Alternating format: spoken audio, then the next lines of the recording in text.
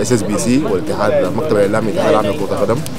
آه، المنتخب الوطني للمحليين الشان وبدا إعداده اليوم يوم 24 7 استعدادا لمباريات التمهيدية في بطولة شان الجزائر 2022 المنتخب الوطني حيواجه فيه المنتخب بتاع بتاع الجزائر يمكن ده كان ضربة البداية لل اللعيبة المحليين. آه حاليا تم استدعاء 41 لاعب. هيكون في تصفية هيكون في اثنين مباريات ودية. بعد ذلك هنصل لغايه النهائيه آه من المتوقع إنه المنتخب حيلعب آه كورتين وديات في تنزانيا لأنه المباراة حنلعب مع سوبيا في تنزانيا. الكورتين كلها هتكون في تنزانيا الذهاب والاياب في تنزانيا. فمتوقع إن المنتخب يغادر مبكرا لتنزانيا عشان يخوض مباراتين اعداديات امام المنتخبات اللي كلها حتلعب في تنزانيا. إحدى المنتخبات إما تنزانيا المحليين أو المنتخب الصومالي. العدد حاليا في المعسكر هو 26 لاعب بالإضافة للجهاز الفني. متوقعين وصول لعيبة الولايات مع ظهر اليوم.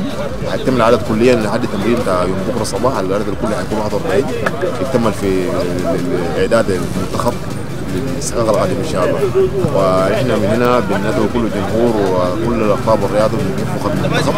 استعدادا للمباراه القادمة إحنا حاليا قفلنا المنتخب بتاع سكوت ديفوار حاليا بقينا نركز في المنتخب في الملف بتاع الجزائر 2022 إن شاء الله نتمنى التوفيق للمنتخب الوطني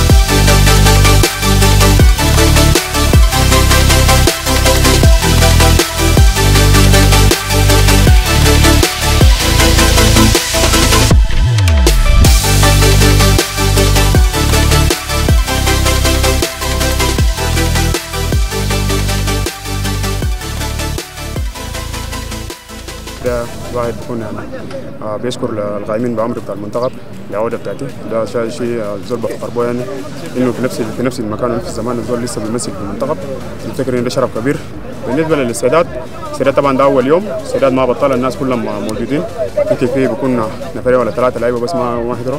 بيكونوا مخارج المدينة لكن كلهم بينتظموا إن شاء الله من بكرة الناس كلها بيكونوا جاهزين إن شاء الله. يعني هنا بنحط تركيزنا كله لهذه المباراة لأنه مباراة مهمة. بالنسبة لنا لازم نعمل تكون نتيجة طيبة إن شاء الله.